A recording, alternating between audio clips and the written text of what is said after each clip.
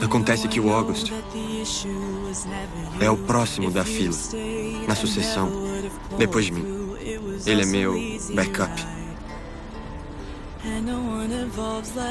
Significa que se eu quiser, eu posso permitir que ele assuma. Aí eu poderia ser livre.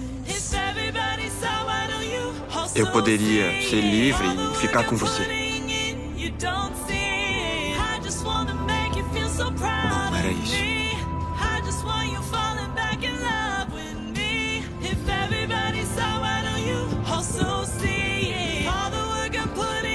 Ele acabou de falar que renunciaria à coroa.